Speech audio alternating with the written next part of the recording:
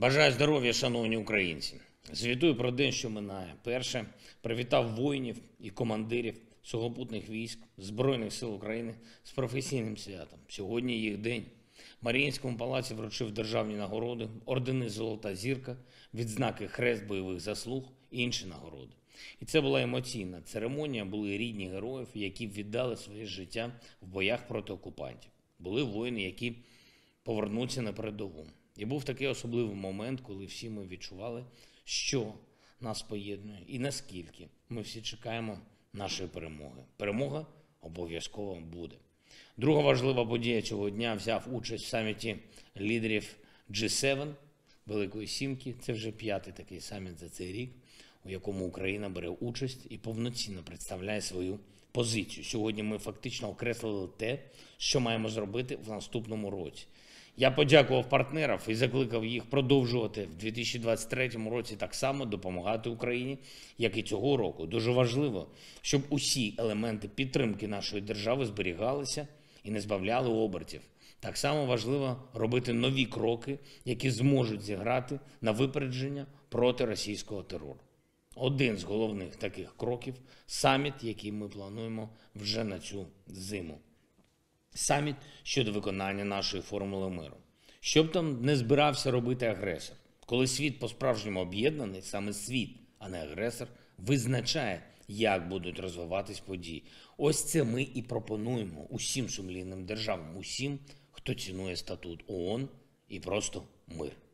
Третє, у Франції вже працюють представники нашої держави, голова уряду, перша леді України та інші. Ключове завдання дві конференції щодо відбудови і стійкості України, щодо проходження цієї зими. Вони відбудуться завтра, а також спрямування французьких сил, як держави, так і бізнесу, громад Франції на конкретні проекти з відновлення України, енергетики, міст підприємств, лікарень. Тож зараз важливий час у Франції для нашої держави, і завтра я теж братиму участь у відповідних заходах. І ще надзвичайно важливі речі. Сьогодні троє наших піротехніків, працівники ДСНС загинули в Донецькій області при розмінуванні.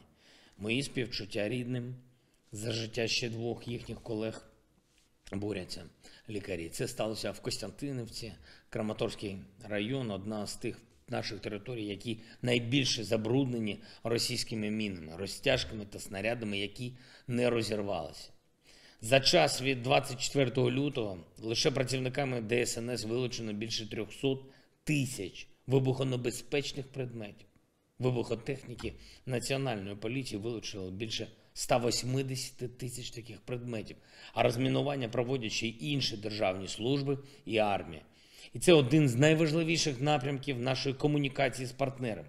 Окрім усього іншого, ми маємо зібрати максимум глобальних можливостей, щоб якнайшвидше подолати російський мінний терор.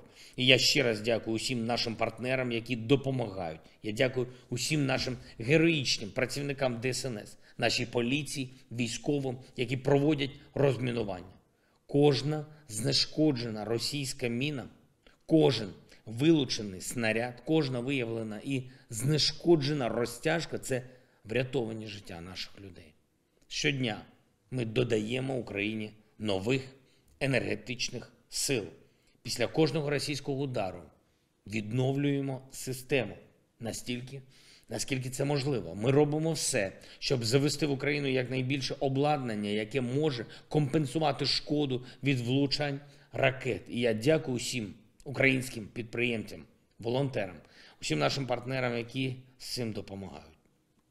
Але усім маємо бути свідомими того, що Росія не відмовилась від цієї своєї тактики терору. Відсутність масованих ракетних ударів говорить лише про те, що ворог до них готується і може ударити в будь-який час.